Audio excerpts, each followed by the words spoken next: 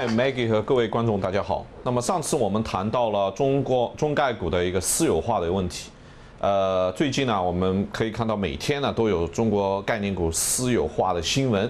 像啊，周三的时候呢，这个奇虎啊，这一周呢还有这个博纳影业啊，DSKY 就是乐豆游戏。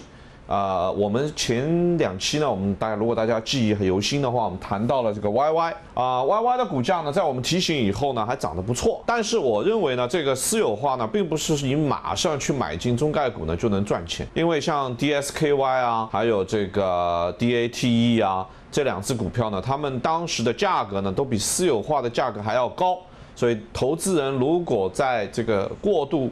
盲目的去买进这个中概股的话，依然有可能是亏钱，好，所以呢，我建议大家应该是非常谨慎对待这个私有化的问题啊。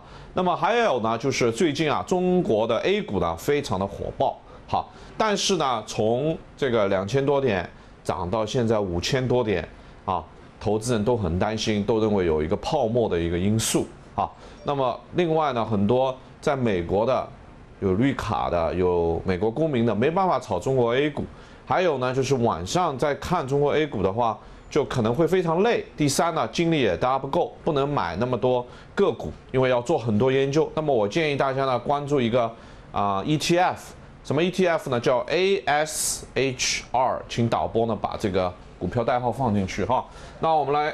看一下这个 ASHR 近期呢走的怎么样？那么我们可以看到呢，ASHR 呢在二月份以来呢就已经是翻了一个倍，从三十块钱涨到了接近五十块钱。投资人如何去买？而且其实我个人觉得，你们如果说在国内有很多亲戚，好像说，哎呀，我赚了两倍三倍，请大家真的不要去羡慕他们，因为我们 ASHR 大家去买的话，你如果说去关注这个看涨期权的话，这个利润啊。有可能有翻十倍的问题，有十倍的一个机会。那为什么有可以涨十倍呢？大家可以看一下这个 ASHR，你可以看涨，也可以看空。最近 Bill Gross 说要看空中国的股票，所以咱们有双刃剑。你如果说觉得五千点中国进入泡沫，那么我们就买 puts。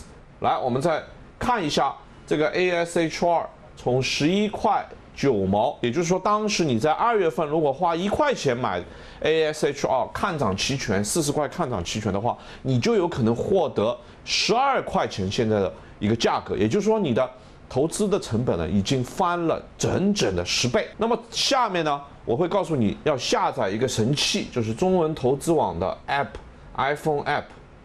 那么 iPhone App 呢，将会告诉你很多关于 ASHR 的新闻，以及我们对于其他股票的分析。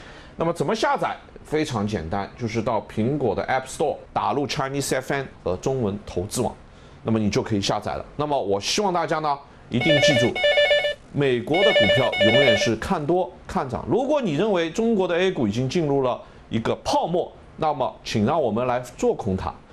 如果你认为还会涨的话，那请逢低买进。好，所以下载中文投资网的神器呢，一定是必须的。好感谢 Maggie，感谢各位观众啊！我们再把时间呢交换给 Maggie，谢谢。好的，感谢回来。本期的妖股环节呢，将会和大家聊一聊两个科技公司，当小妖傍上了大妖之后，前途无量。大家好，我是中文投资网上海记者 Laura。喜欢投资科技和互联网行业的朋友，一定不要错过本期的妖股环节。作为一家芯片厂商，Ambarella 股票代码 AMBA 去年在可穿戴运动相机 GoPro 股票代码 GPRO 疯狂上涨时，仅仅是作为后者的独家芯片供应商沾到了光。然而，在全球各厂商纷纷推出自己的可穿戴相机，GoPro 背负受敌，股价遭遇重挫的情况下，Ambarella 却任性的一路上涨。从三月到现在，股价已经翻倍创出新高，并且成交量急剧放大，在大盘及科技股板块都停滞不前时，成为了一只不折不扣的妖。股上涨的主要原因是因为 Umbrella 作为芯片供应商可以扩大自己的客户基数，比如说他们前不久和中国厂商小米签订了合约，为后者的运动相机生产芯片。同时，在安防人员佩戴相机领域、公共安全摄像领域、无人机领域，Umbrella 都可以大有作为。在最新的财报中，Umbrella 盈利和营收都均好于华尔街预期，并且表示明年将首次获得来自无人机摄像的营收。在财报发布后，华尔街分析师纷纷提。高 Umbrella 目标价或评级，推动股价走出了翻倍之旅。但是，投资者应该注意的是，Umbrella 快速上涨后可能会出现获利回吐的情况。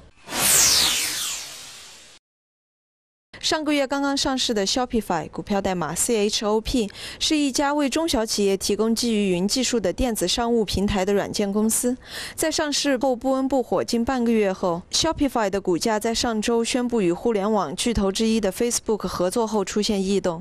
截止周二，股价已经连续四个交易日上涨，并且较之 IPO 首日开盘价已经上涨超过百分之三十五。在本次合作中，Facebook 将通过 Shopify 的技术，让其收购的两大社交网。网站 Instagram 和 Pinterest 用户可以通过一键下单按钮，直接在网页或是客户端购买图片中产品。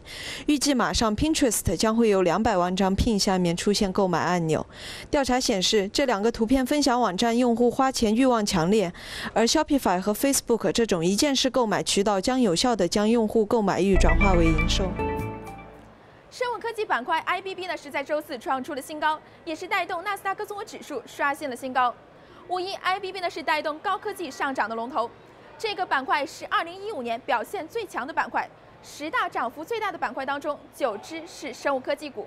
下面呢，我们就请来了这个板块当中最牛的分析师 Brad Jensen，和大家来分享一下他的研究成果。Brad Jensen 是 Investor Alley 的小盘股和大盘股的首席研究员，同时他也是 Simplified Asset Management 的首席投资战略师以及联合创始人。今天呢，我们想就生物科技股后市将会如何发展，听取他的意见。Well, Brad, good to have you with us again. So last time we met, you mentioned that you were waiting for some pullback in biotech sector. So still waiting. Are Still- you adding positions? Uh, I'm still I'm taking some profits in some of the biotechs. I have initiated a few new positions. Uh, some of the stocks we talked about last time, uh, such as Geoyag Sciences, which is my biggest position in my portfolio. Still like it. It's up like 15%. I expect it to continue to go ahead and go higher because it's selling. It's still selling at 11 times forward earnings, which is very cheap in this market. Uh, I think the last time we also talked about Agenus as well. At the time, I think it was seven dollars. Uh, it's now 9.50, which is a nice gain. Still own Agenus as well. Uh, we talked about Halo, as I recall, Halozine uh, Therapeutics. Uh, that's gone up from about 16 to 20 since we talked. Uh, I actually almost like that stock more than I did then because then they did not have this huge potential deal with AbbVie, which is the drug giant from uh, Europe. They just signed a deal where they're going to use Halo's uh, underlying technology to go ahead and develop up to eight compounds. It's still very reasonably valued, uh, selling about $77 a share. Uh, the consensus for next year is $5.50 or so. I do see uh, some froth, uh, some overbought conditions, especially in the small biotech stocks. Uh, it's really hard to go ahead and get one's arms around a whole bunch of stocks in the uh, the CAR T or the personalized medicine uh, subsector of the market that have run up, you know, 600% or 400%, like Bluebird or uh, Juno and Kite had pulled back a little before the money show, and they, they've kind of gone back up, as I understand it. Investors should be very cautious here. Usually, summer is not necessarily a good time for high beta parts of the market. You're kind of running into historical headwinds. Uh, so I'm not adding to my biotech here. I've taken a little bit of profits. Wouldn't be surprised if we get a pullback. Might was a little early. Well, if memory serves me right, uh, you said second quarter and the third quarter are relatively weak for biotech. So does biotech still look good? Yeah, uh, the but historically it has been weak. Um, I still think the market's overbought in those sectors. Uh, investors who want to put new money into play in biotech should really concentrate on the larger uh, plays that have reasonable valuations. Uh, Gilead, Celgene, uh, Biogen, IDEC, uh, AbbVie. Uh, yeah, I do want to talk about the best performing stocks in 2015. Uh, so will we see nine out of ten are from biotech sector? Will this trend continue? I would severely doubt it. uh, simply because, and that's why I really think we're overdue for a correction. You, if you remember, about a year ago at this time, uh, some of the best performing stocks in the market were the small energy stocks. Right. And I mean, if you looked at, you know, the top 10 list, Uh-huh. you would have a lot of energy stocks, including a couple that are out of business now because oil pulled back from 110 Right. to 40 before, you know, rising to 60. The same thing can happen here. Mm-hmm. The markets tend to get behind a trend until it doesn't, and when that happens, all the air goes out mm-hmm. of the high beta sector, and biotech could continue to move higher, but it's really getting hard to find any kind of bargains here, uh, especially in the small cap sector. What do you think about the anti-cancer sector? Yeah, they have. I mean, obviously, cancer is a huge growth area. Mhm. About names like uh, Bluebird, Juno, Oh. which they are performing very well? They are, they are performing very well, but how much of that is based on real earnings years and years out, and how much is based on hope and greed and momentum? Right. You know, Bluebird is up like 600% a year. I, uh-huh. I have a solid rule that I want to be on the ground floor pretty close to an event, so if I can't identify a stock in advance, I'm certainly not going to go ahead and invest in it mm-hmm. after a 600% return. Now, it may go ahead and double from here. It also may get cut in half in a month if the sentiment on the sector changes. So it, 好的，来关注一下下周公布的重要的经济数据以及企业财报方面。一季度的 GDP 中值呢将会在二十四日，也就是下周三公布，前值是负百分之零点七，预测值是负百分之零点二，说明经济扩张相对比较缓慢。这个也给短期加息带来了一定的压力。